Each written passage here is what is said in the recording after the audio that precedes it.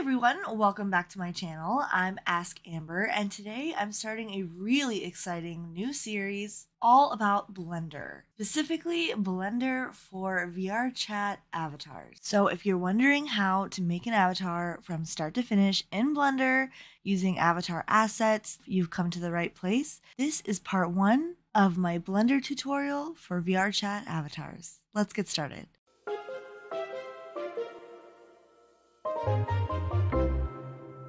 Most important thing that you need when you're starting a VRChat avatar in Blender is obviously Blender itself. I use Blender 3.0 because it works the best for me. It doesn't give me any issues and it works really well with the Cats plugin. Now, if you don't know what the Cats plugin is, I'm going to have a link to download that below. It makes making avatars in VRChat super easy and seamless and takes care of a lot of the grunt work for you, so you're not going to have to do it yourself. Things like aligning the bones in your avatar, creating visemes so that your avatar can speak, setting up eye tracking, so that your avatar's eyes look around in VRChat. So definitely download it. The link is in the description. Now, the way that you add a plugin to this sidebar here in Blender is you're going to go to the Edit tab and choose Preferences. You're going to click this Add-ons button right here. Then you're going to hit Install and you're going to navigate to the folder where you downloaded your Cats plugin. Now, it's really important that you don't unzip your Cats plugin. You just take the zip file, which I already have mine installed, so I'm not going to reinstall. But let's just say that this folder right here was a zip file. You would just click on the file and then click Install Add-on. Once that add-on is installed, you can search for it using the search bar. And you can see here that there's 3D View Cats Blender plugin. You just make sure that this is checked on and it will show up right here in your sidebar and you are good to go. You can exit this window. Now that you have your Blender ready to go and you have your CATS plugin installed, you can get started right away on making your model. Now the way I like to do it is I have all of the items that I would like to add onto my model that I've downloaded from different stores, from different people's Gumroads. I search Jinxie a lot. You can find a lot of really cool assets and these assets usually come with an FBX, a texture file that has the main base texture on it, and then some additional texture files that have normal maps and different things like that that you can use in Unity to give that asset a specific look or style. So what I've done is I've taken all of the FBXs that I want to use, put it in a folder with my blend file, and then I've also created a textures folder and put all the textures from those FBXs that I want to use in this folder.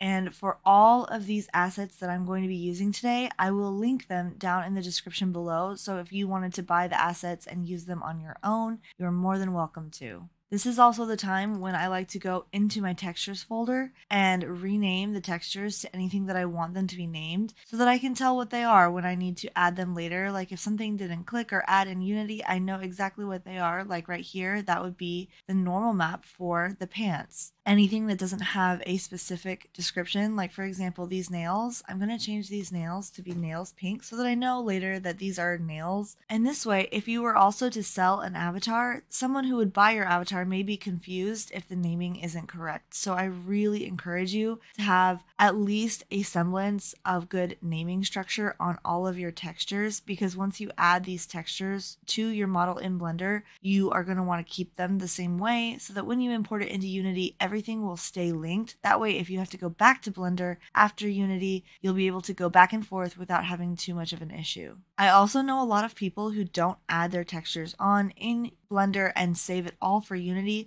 which is a totally fine process. I just find it really hard to visualize what my avatar is going to look like in Blender before it gets to Unity if I don't have my textures added. So I like to have them all added before I take it into Unity just so that I can be sure that I like what it looks like and don't have to go back and forth from Blender to Unity a whole bunch of times. With all that being said, I'm going to import my very first piece into Blender and that is going to be my base model. Now I'm using Zinpia's Fit Base for this tutorial, but there are a lot of other bases out there so feel free to use whatever you want. So let's go ahead and import the base for this model. Now, there is a way to import it with cats where you can click import model right here and it will import your FBX. But I often don't use this particular button because sometimes I've gotten some glitches and some weird things that happen that I don't particularly want to deal with. I like things to be consistent. So, in order for it to be consistent, I always go to File, Import, and then I'll go down to FBX and this will open the window where I can navigate to what file I want to import. So I would like to import the Zinpia Fit Base. So I'm simply going to click on the FBX that I want and then click Import FBX.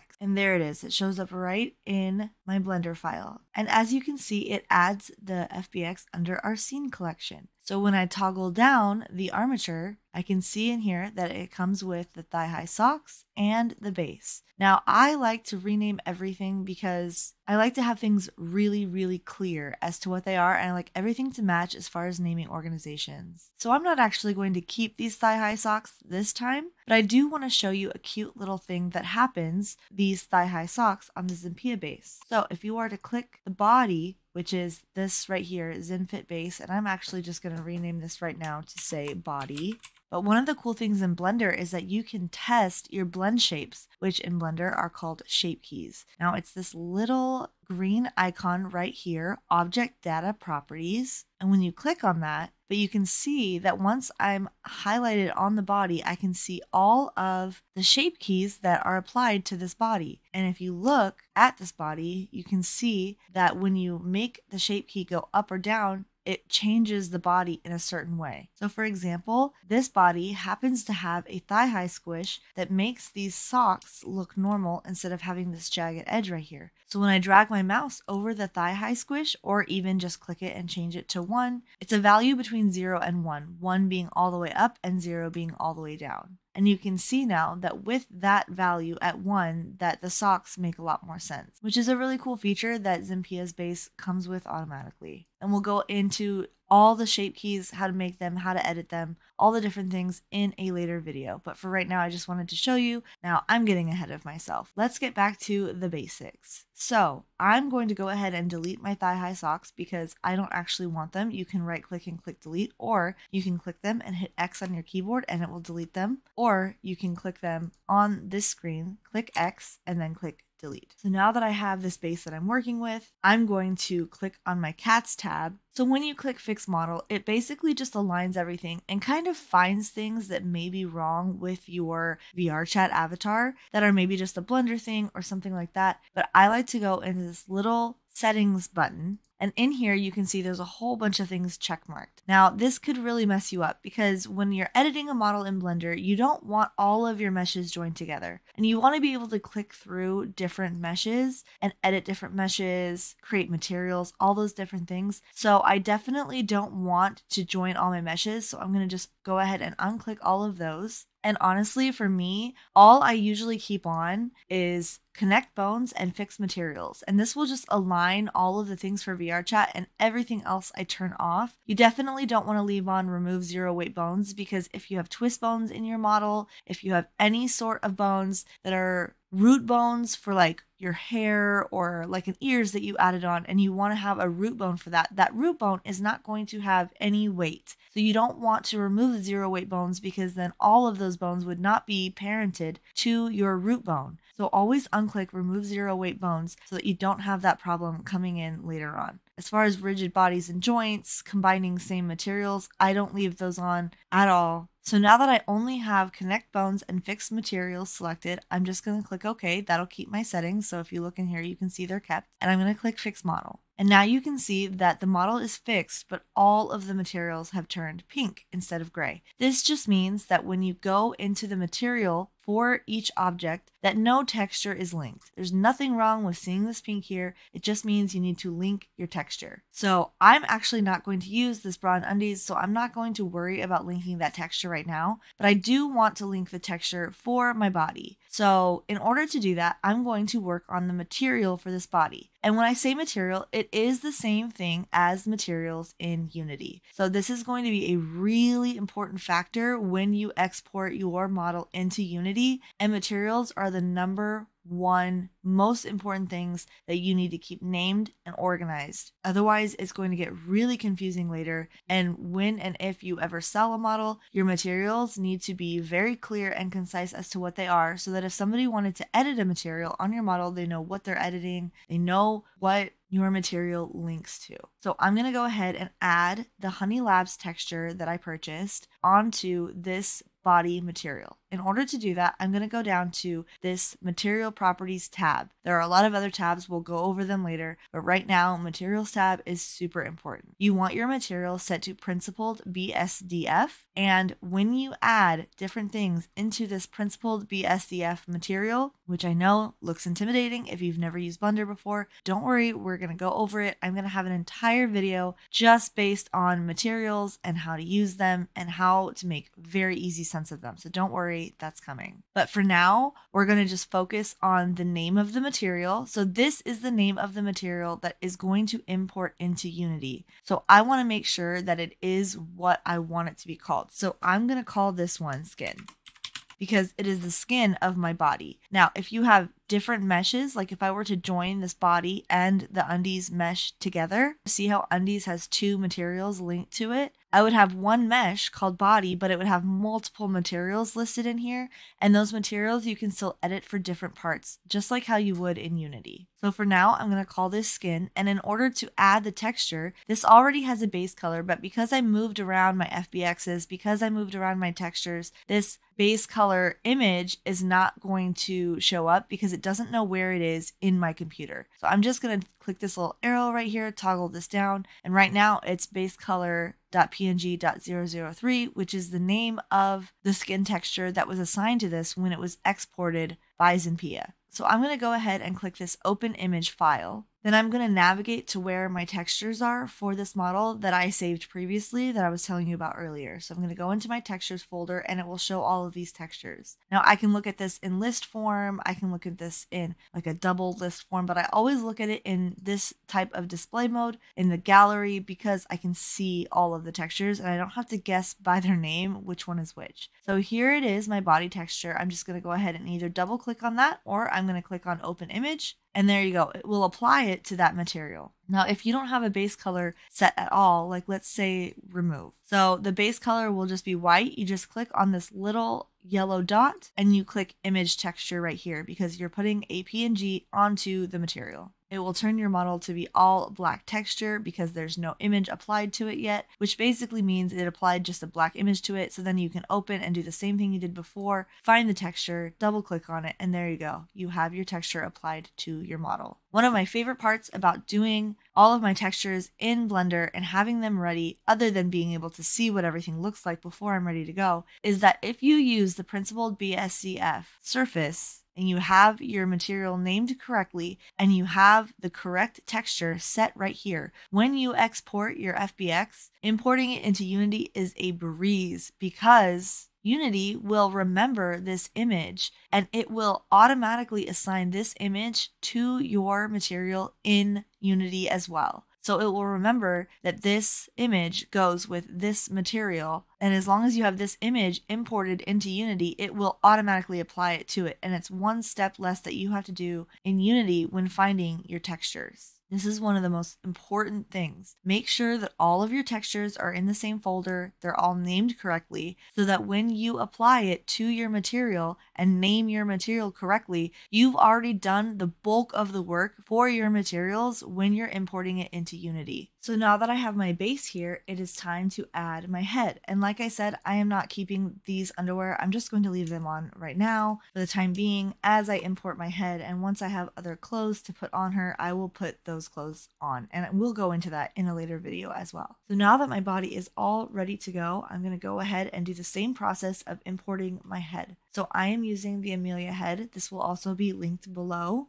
So I also made sure to add that face texture to my textures folder so that after I import the head, I can add that texture as well. So again, file, import FBX, navigate to the folder that I want, and I'm going to go ahead and import my Amelia head right now. Now this is going to give me up here a separate armature. So now I have armature 001 and armature, and this main armature is going to be the one that I pile everything onto in the end. And I'm going to show you how to add this head to this body so that they're all in the same armature and that they all work together. But before we do that, we need to be able to move around the head so that it's the right position and scale for my body. So I'm going to go ahead and click on the main armature for this and I'm just going to move it into place. Now, I always use shortcut keys for Blender in order to move and scale different things. So to move something, it is the letter G on your keyboard and you can see you can just move it around after pressing G and then you just click to apply. And if you are in a viewpoint where you can see directly half on, it will only move it along that. If you are tilted a little bit and you move it, then you can see it'll move it over to the side as well.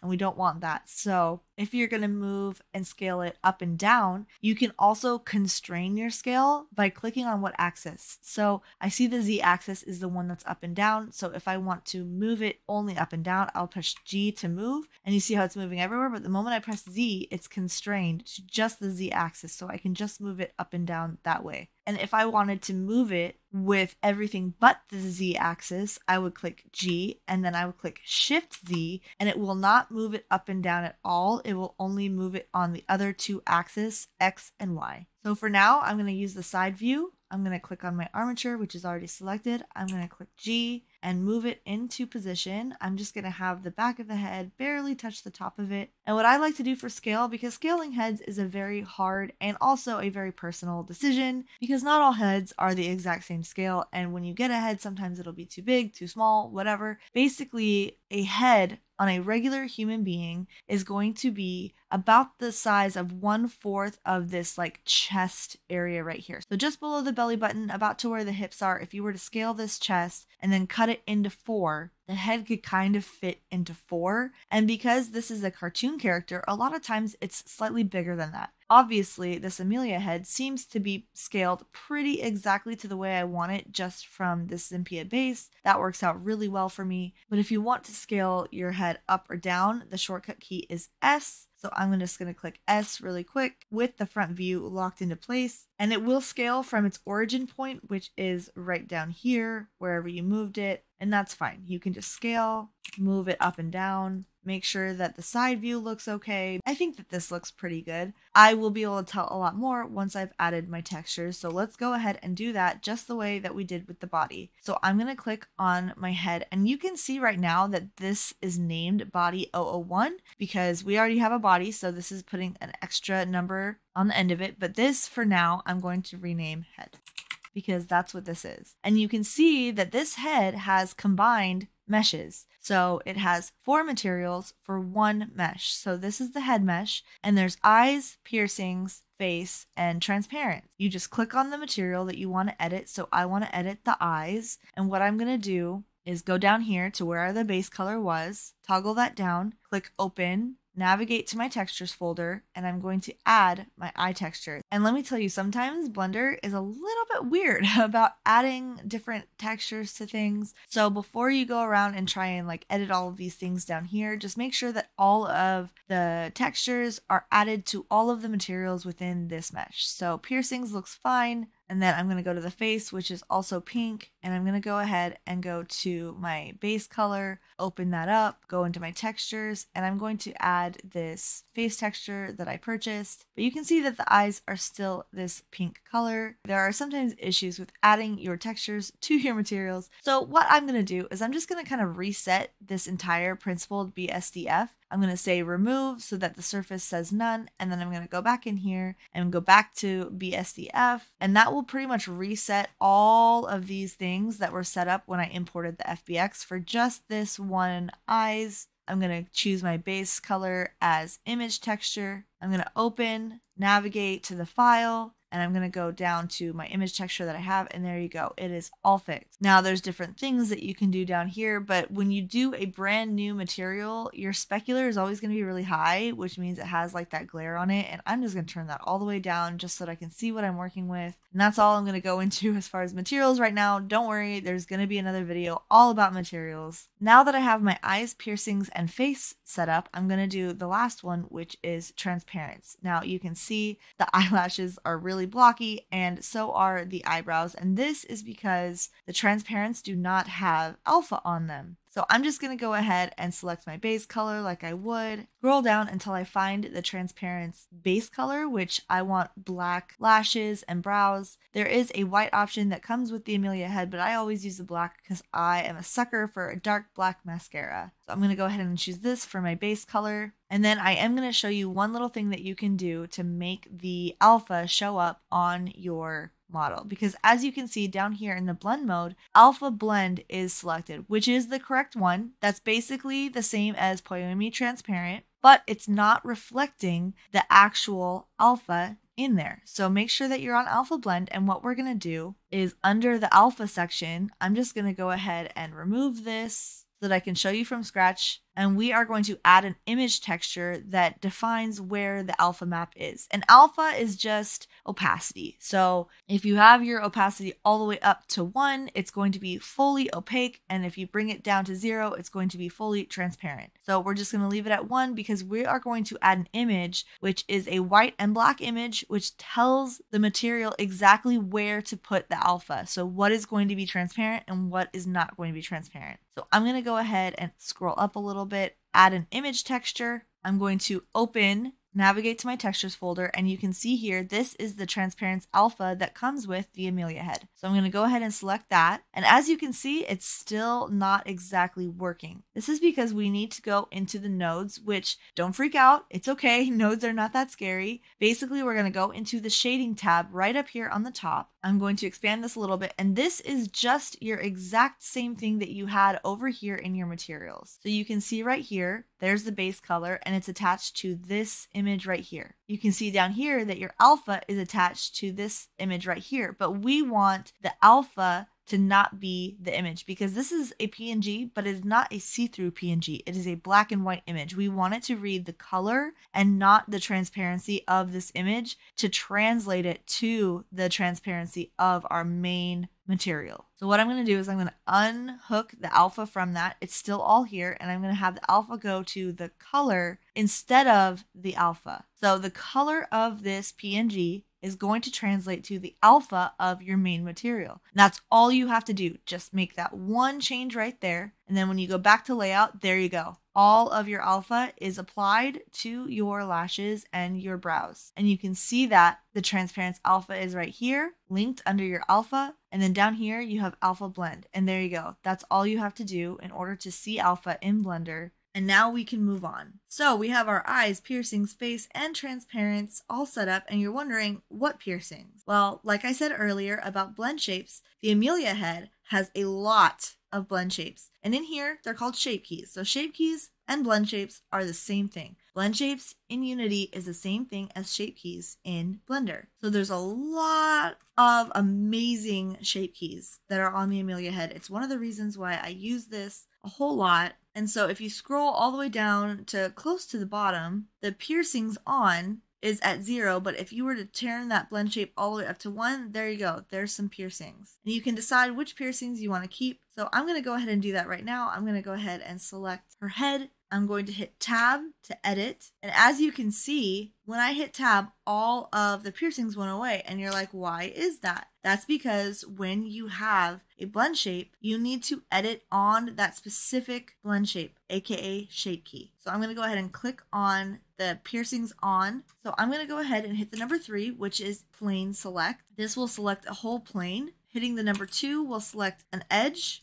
and hitting the number one will select a point. That's a very basic overview, but I'm going to hit three for plane select. I'm going to click on one part of the thing that I want to delete, and I'm going to click L, which will select everything that's linked. L for link. So I'm going to select this because that's all linked together. I'm going to select the bar and this part. And now that that specific piece is selected, I'm going to hit X and I'm going to delete all the faces. So now I only have one eyebrow piercing and I'm going to go ahead and delete these little things as well. L to select linked, L to select linked. I'm going to go ahead and delete these bottom lip ones as well. L, L, And I think the top lip ones as well. And then X and delete all the faces. Now I think I'm happy with these piercings. And of course you can add other piercings on later, but I just want to keep it at this. So I'm going to exit my edit mode and I'm going to make sure that I turn my shape key all the way down. And then once you get into Unity, you can have a toggle for having your piercings on or having the piercings off. So I'm going to go ahead and turn this all the way down to zero. There's also the option of clicking this little X button down here in the bottom corner, and that will turn all of the shape keys on that selected item to zero. So once I've clicked that, all of my shape keys are back to zero. Now I know that's a lot to go over, and we are going to talk a lot more about shape keys in a future video. I just didn't want you to be confused about why maybe you couldn't see your piercings, and you're like, what piercings are you talking about? Don't delete this material. It is important for later. So now that my head is where I want it to be and all of the textures are set up, I'm going to go ahead and merge these two armatures together. And I can see here that I actually have a little gap in the back of my head. So I'm going to go ahead, select the armature for the head, and I'm going to G and I'm going to move that down just a little bit and that is looking great. So make sure you have your head exactly where you want it to be. And here's what we're to do.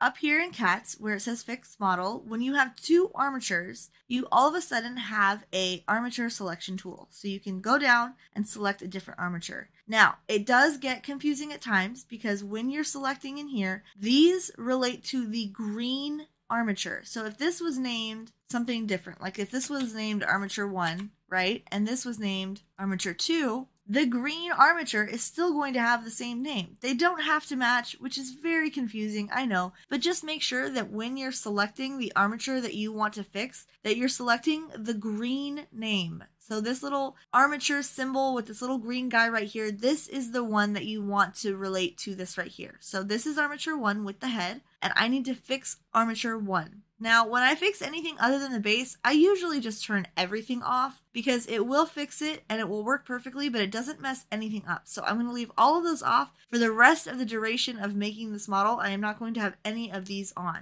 I'm going to say, okay, fix model. It's going to pop up with this little warning saying that the hips, the spine, all those things are not found. That is totally fine because once we merge the armatures, it's going to have all these bones anyway. This is just a non important warning. Don't worry about it. It's not going to affect your avatar in any way. Don't freak out when you see this error. So now, even though this bone right here is the head bone and this bone right here is the head bone, we want to decide when we merge the armatures which one is going to be the more important bone. And we're going to say the body is going to be the base. The body is always going to be the base. So when we merge this on, what we're going to do is in CATS, there's a tab called Custom Model Creation. And in here, I'm not going to join my meshes because it's the same issue as above. I want my meshes to be kept separate until I personally join them together myself and decide which ones I want joined together. I'm also going to uncheck remove zero weight bones. Do not have either of these checked. It's just not a good idea. You are going to have a check merge all bones. This means if there's two head bones, it's going to take the head bone from the base and it's going to take the head bone from the to merge armature and it's going to merge them together. So if you have a head bone on the head and a head bone on the body, it's going to merge them onto the body's head bone, this head bone right here, which is what you want. So for my base, I'm going to select armature, which right here again is this green armature right here. And then armature 001 is going to be the one that I'm going to merge to the base. And I'm to go ahead and click merge armatures. So now, as you see, I only have one armature left and it has a body mesh and a head mesh. It did not join my meshes together. They're still separate, but I only have one armature. And as you can see, I just have one head bone. So that is the basics of creating your very first base in Blender, the materials added and everything organized. I know this video was a lot. We went over a lot of things very lightheartedly. We didn't really go into depth on anything about materials or different things like that, but we are going to be going over materials in a future video. We're going to be going over shape keys. We're going to be adding on items that fit. We're going to be adding items on that don't fit and make them fit. So if you're interested in learning the rest of how to make your entire VRChat model in Blender just the way that you want, Stay tuned for all the rest of the videos coming out in this Blender series. So until then, I love you and thank you so much for watching.